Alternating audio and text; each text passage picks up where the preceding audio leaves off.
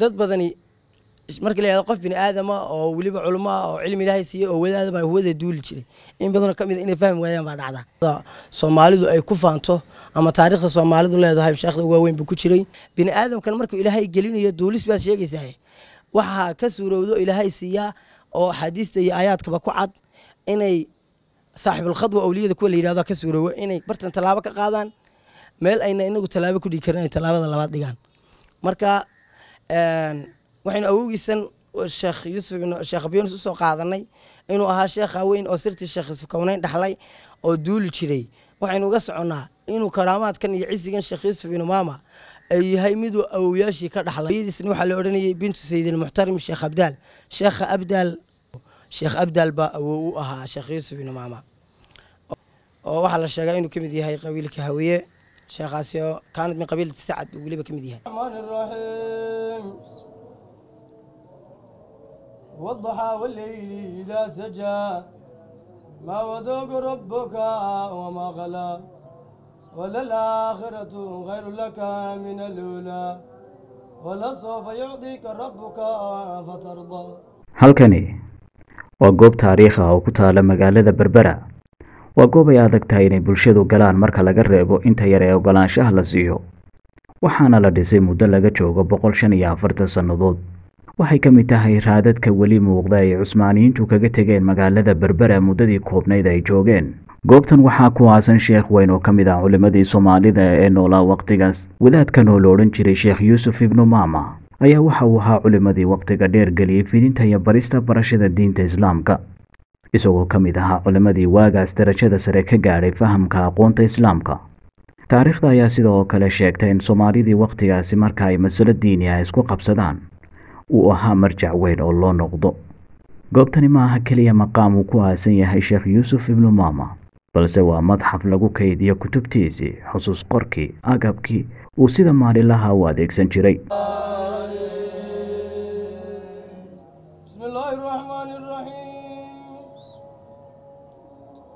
ياسين والقرآن الحكيم إنك لمن المرسلين على صراط مستقيم sidoo kale waa goob waxbarasho oo sanad walba soo saarta arday tiro badan oo barata shareecada islaamka sida ay noo sheegeen maamulka goobtu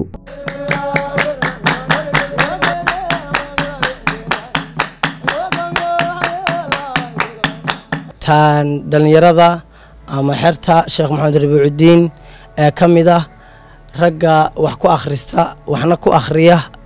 Sheekh xasan oo ka mid ah tafiirta sheekha maqaamka loo dhisay ayaa haatan maamula goobtan. Ibnu maama ama sheekh maama oo aada ugu magac dheer yahay oo sheekhalbeledka magaalada berbere ah inankiisii sideedaad baan anigu noqonaya waa awowgeygii toddobaad isaguna waxaan markaa insha allah tacliin ahaan iyo sheekhu siduu ku yimi iyo berbere horteed inuu sheekh yuusuf ibnu maama jiray iyo berbere horteed magaalada jiri jirtay wixii la odhan jiray sababaha iyo arrimo la xidhiidha iyo inaynu sheekh yuusuf ibnu maama kumuu ahaa wax iska barno. Ayaan bal insha allah qeexi doonaa isagoo aynu ahayn sheekh yuusuf ibnu maama taariikhdiisa ama maadaama taarikh aada u facweyn ay tahay mid imika la garan waayo ama aynu isu sheegayno. Haddana xasuusin dadka aan garanayna baris bay noqonaysaa. Inteena garanaysana xasuusin. Marka sheekh yuusuf horta wuxuu ahaa shaykhun min mashaa'ikhi soomaal. Sheekh mashaa'ikhda soomaalida ka mid ah. Bal weliba min ajilaa'ihi mashaa'ikhda waaweyn mashaa'ikhda soomaalidu ay ku faanto ama taariikhda soomaalidu leedahay mashaa'ikhda waaweyn buu ku jiray sheekh yuusuf ibnu maama wuxuu ahaa bare diimeed dadka diinta bara ka soo baray meelo kala gedisan oo badan. Waxaa ka mid a meelaha sheekh yuusuf ibnu maama oo cilmiga dadka uu ku soo baray oo jaamacada ku soo hayay magaalada herar la yidhaahdo. Waxaa kaloo ka mid a allahuma salli calaa sayidina maxamed saxib muqdisho lafteeda in badan buu wax ka akhriyey oo uu sheekhulcilmi ka ahaa. Aakhiru cimrigiisii buu bartan yimi iyadoo magaalada berberele aysa jirin oo ay jirto magaalo layaha bandar cabaas oo batalaale agteeda ku taalay. Magaaladaasoo ahayd tuulo aan weyneyn. Tuuladaasoo allahuma salli calaa sayidina maxamedin wakhtigaa jirtay. Sheekha oo ka soo tallaabay markaa ka yimi xaggan iyo etoobiya soomaalida etoobiya degta buu sheekhu ahaa. Sheekha haddii aynu nasabkiisi wax yar ka tilmaano waxaa la odhan jiray sheekh yuusuf binu sheekh maama. Sheekh maamaha uu ku caanbaxay waa aabihii magiciisiiba. Sheekh yuusuf binu sheekh maama binu sheekh jibriil binu sheekh axmed binu sheekh abibakar binu sheekh abayunus binu sheekh xasan guudcadde oo allahuma salli calaa sayidina maxamed sal slim kulligood ay ahaayeen mashaayikh cilmiga dadka barah oo shaqadoodaba ay tahay cilmi baris. Micni waxay ahaayeen caa'ilad shaqo kale aan lahayn dadka cilmiga bara min sheekhin min sheekhin ilaa sheekhin ilaa saas u socota. Kulligood mashaayikh waaweyn oo la yaqaan bay ahaayeen. Intaasoo meelood ka soo bari jiray dadka ilaa bartan aynu joogno uu ka noqday barihii cilmiga dadka barayey ku hogaaminayay waddada saxda ah. Hooyadiisna waxaa la odhanayay bintu sayidilmuxtarim sheekh abdaal. Sheekha abdaal magaaladan abdaal la yidhaahdo tuulada sheekha loogu magacdaray ku aasan ayay ka mid ahayd aalkiisiiyo sheekh abdaal baa awow u ahaa sheekh yuusuf ibnu oo magaalada berbera xaggan galbeedkeeda tuulada ah. Waa yahay oo waxaa la sheegaa inuu ka mid yahay qabiilka hawiye sheekhaasi oo kaanad min qabiilati sacad uu weliba ka mid yahay.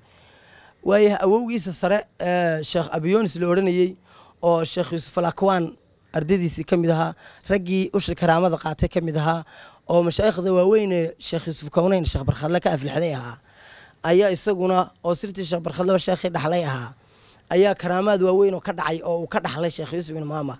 Ayaa jiray oo la odhan jiray hawada ayuu duuli jiray. Sheekh yuusuf ibnu maama awowgiis oo sheekh maama sheekh abiyonisi hawada ayuu duuli jiray. Si cadaan ah dad badani marka la yihahdo qof bini aadama oo weliba culamo ah oo cilmi ilaahay siiyey oo wadaada hawada duuli jiray. In badanoo ka mid a inay fahmi waayaan baa dhacda laakiin masaladaasi way jirtay way dhacday oo awoodaha ilaahay bixiyay ka mid tahay inuu qofku duulo. Wayna dhacdaayoo karaamayntan ilaahay qofka karaamaynayo awooddiisii qayb ka mid buu ilahay gelinayayo xadiis baa wuxuu odhanayay faida axbabtu min cabdi markaan addoonkayga jeclaadaba ilaahay leeyahay. Kuntu lahu yaddan.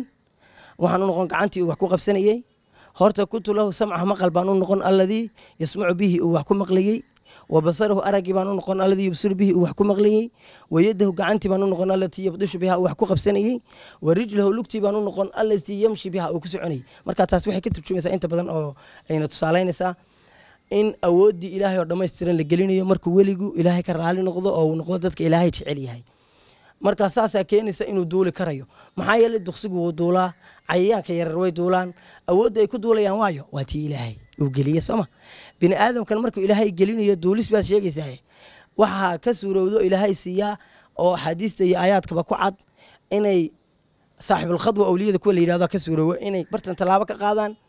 Meel ayna inagu tallaabo ku dhigi karin ay tallaabada labaad dhigaan. Marka waxaynu awowgiisan sheekh yuusuf sheekh abyunus u soo qaadanay inuu ahaa sheekha weyn oo sirtii sheekh yuusuf kowneyn dhaxlay oo duuli jiray. Waxaynu uga soconnaa inuu karaamaadkan iyo cisigan sheekh yuusuf ibnu maama ay yahay miduu awowyaashii ka dhaxlay oo ay dhexaltooye ahayd cilmigan iyo sirtan iyo karaamadan iyo awoodahan rabbaaniga ilaahay siiyey. Sheekh yuusuf ibnu maama kaasuu ahaa. Sheekh xasan waxa uu sidoo kalena soo tusay goobtii ama maktabadii uu sheekhu wax ku akhrisan jiray oo sidoo kalena ahayd bartuu duruusta ku bixin jiray. Goobtan waxaa weli yaalla kutub badan oo aad adiga qudhaadu fahmi kartid inay yihiin kutub gabowday oo waayo hore la isticmaali jiray. Sheekh xasan ayaa sidoo kale ii sheegay inay maktabadda yaalaan kutub lagu qoray khad maadaama daabacadda casriga ah aan wakhtigaas la haysan. Sidoo kale kuwa ku samaysan harag xoolaad. Waayahay waxaa la yihahdaa fatxu ljawaad bisharxi lirshaad lishihaab ibnu xajar raximah llahu tacaala ayaa kitaabkan iskale waa kitaab isaguna axkaama muqadimaat dahaara wa maqaasidaha waana ininka arkaya nooca uu noqday xataa isma haysaysto waa karaasa. Waa goob marka aad geshidaad dareemi kartid taariikhda ku dhex duugan. Dowladda khadawiyada magaalada berber markii soo degtay khadawiyat almasriya oo ahayd cuhmaaniyada qeyb ka mid a markay bartan timid waxay damacday magaalada berbere markay timi. Sheekhiyo sii wafaadsan ba in badan oo bartanna ay dariix yar uga samaysan yahay ayay timi waxay damacday inay meeshan ka dhisato madaxtooyada ama meesha ay degto. Sababto ah magaalada meesha ugu sarasaba meeshan ay ahayd dariixu sheekha iyo aagiisu ku yaallo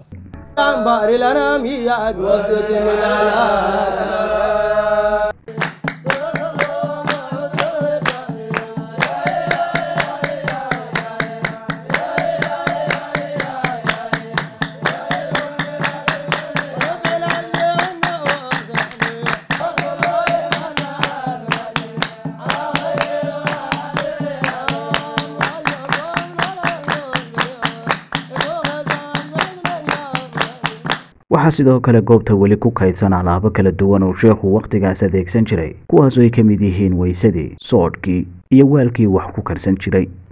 Sheekh yuusuf maamo waxa uu asal ahaan ka yimid magaalada herer ee etoobiya waxaana uu soo maray dhulal badan oo soomaalidu degto sida muqdisho si uu dadka u baro diinta islaamka. Aakhirkiina waxa uu degay magaalada berbera halkaas oo ugu dambeyna ku geeriyooday